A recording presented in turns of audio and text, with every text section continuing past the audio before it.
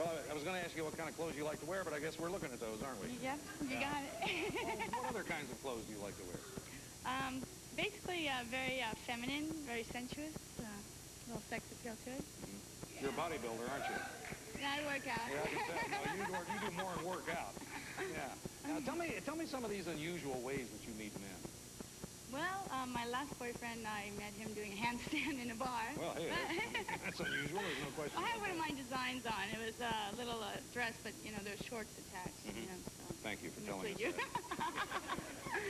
and um, I guess the other way is um, I'm uh, pretty much a pool shark, and so I, yeah. I meet guys, I I made some pretty good money playing pool.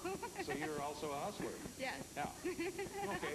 Let's take a look at the tapes that Lisa. Now, remember, you're going to vote again. First, there's Mike. He was raised in Casper, Wyoming, and he claims to date between 7 and 15 times a month. He thinks his worst habit is waiting until the last minute to do things. And Mike told us why it takes him about an hour to do his hair. I just kind of paste it down, blow dry it, and, and uh, you know, spray it, and I go.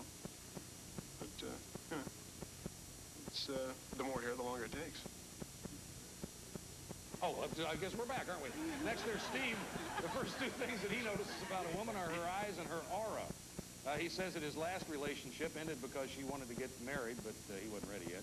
Steve told us how he deals with women he meets while bartending.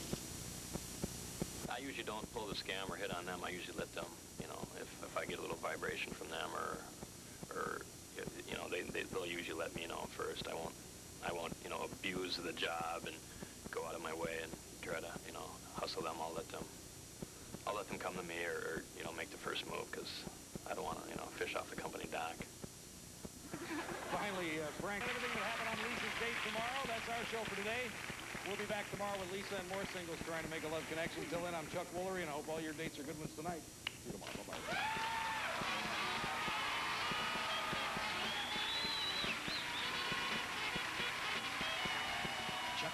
Wardrobe furnished by Bernini. This is John Cervankas